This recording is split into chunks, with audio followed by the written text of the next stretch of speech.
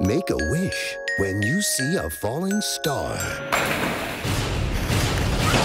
Is going to be a disaster. Stars in Danger, The High Dive, a two hour event. Wednesday, January 9th on Fox.